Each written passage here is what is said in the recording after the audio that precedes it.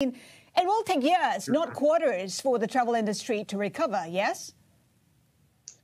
Yeah, the situation of, COVID has impacted the industry, as you were very well said. Uh, and it's very hard to predict how the future will look like. But for sure, with the restrictions that we're having, international travel will not be back to volumes that we've seen for the next couple of years. Uh, in a few years, it's going to be something that, that we're going to see.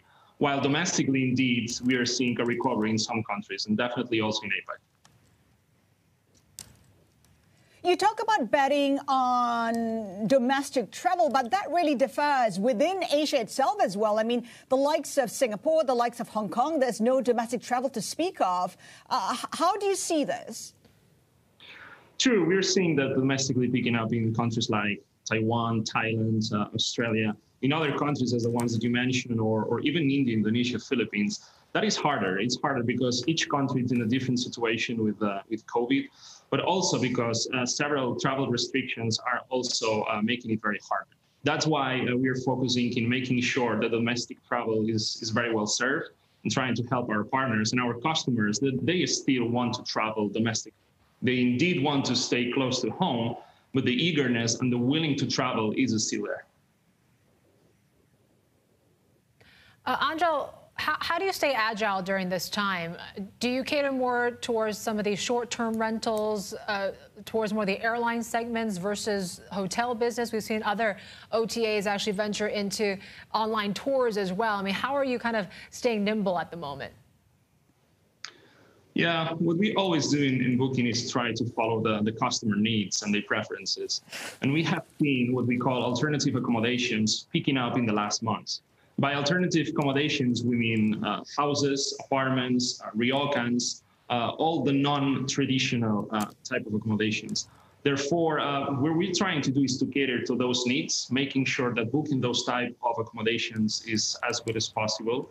And also at the same time, uh, being very conscious that the customers and travelers, they are indeed very interested in anything which has to do with safety and health protocols. So as much more content we can do in that sense, the better, because what we want to do is install trust in the customer. Uh, what about for, for the Golden Week holiday? Obviously, everyone's watching how the China resumption is going to, to play out, especially domestically. Do you think the travel market can bounce back to growth now, now that Ch the Chinese can't travel overseas?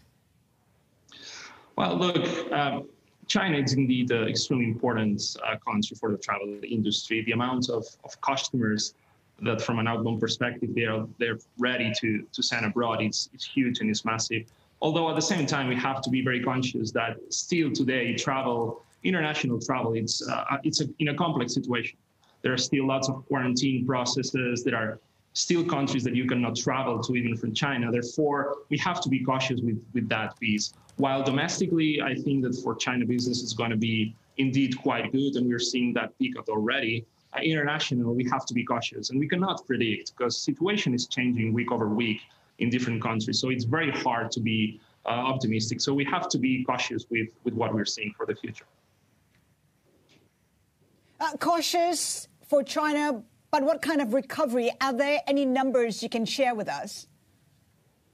Yeah, we see indeed uh, domestically recovering quite a bit. And uh, again, it's for the future, it's very hard because we, we cannot predict how the COVID situation will be. Therefore, uh, while we're seeing nice peak um, domestically in certain markets in Asia Pacific and China being uh, one of those, it's very hard to say exactly how the forecast in the next quarters it will be.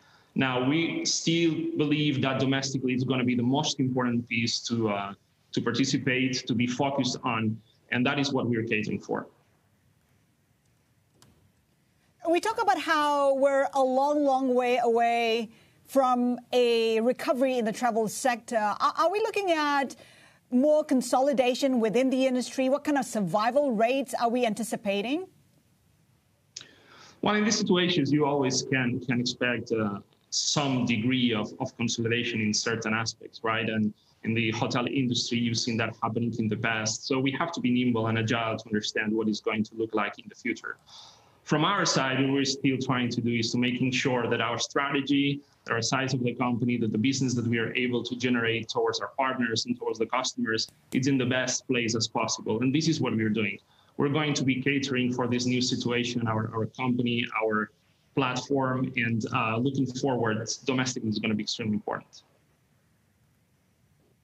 And Angel, this crisis is also an opportunity for, uh, you know, the tourism sector to rethink about the future of tourism. And what discussions are you having? Because we know that you're also having discussions with, with governments on this. Yeah, how, how is going to look like travel in the future? It's uh, we, are going to see. Uh, for now, what we're seeing definitely is to making sure that uh, because of the uncertainty of travel, to make sure that our customers have the best type of rates possible with flexible cancellation, flexible policies. If you want to cancel your travel, you should be able to. We're trying to avoid also uh, paying advance, and as much flexible we can be in that sense, the better. So that's from the uh, customer perspective, things that I'm sure that it will change in, in the travel industry. From the government's type of uh, situation, the more that we can cooperate, the better. I think there's room still to improve the relationships with the different stakeholders in the industry with the governments, with ourselves, in order to make sure that we have transparency in the decisions that are going to be taken, such as which are the travel corridors that are going to be open in the future, uh, how we can cooperate uh, in advance in order to make sure that the demand is going to be there for, for our partners, for ourselves, and for the customers. So there are uh, a lot of room to improve that in that sense.